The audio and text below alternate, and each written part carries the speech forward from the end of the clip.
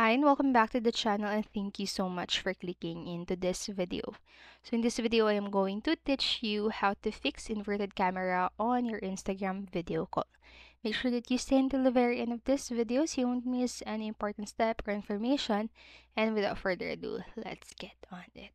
So the first fix that you can do is to check your camera settings.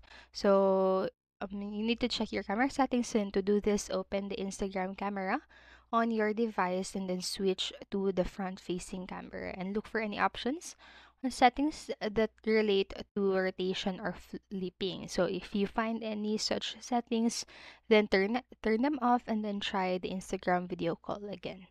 The next what you can do is to try to restart your device. So this simple step can often fix any temporary software glitches that may be causing the issue. So to restart your device, just press and hold the power button until the slide to power off options appear. So slide the toggle to the right to power off your device and once device has turned off, press and hold the power button again to turn it back on. So this also helps in solving the Instagram story rotation problem. The next what you can do is to update the Instagram. So it is possible that the issue is due to a bug in the Instagram app. So updating the app to the latest version can often fix the issue. So to update the app, go to the App Store on your device and then simply search for Instagram and tap the update button if it is available. But when you see the open button, that means that your Instagram app is up to date. So next, what you can do is to clear the Instagram cache. So clearing the Instagram cache can also fix or can also help fix the issue.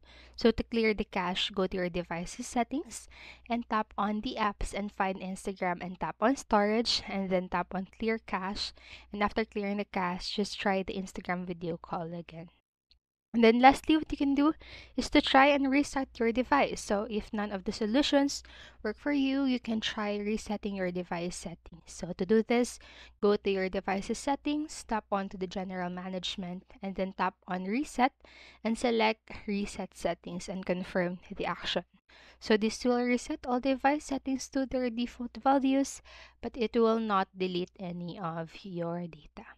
And so that's it for this video and I hope this helped you and if it did, please make sure to like, subscribe, and hit notification bell button so you won't miss a video. Thank you so much for watching and have a great day. Bye-bye.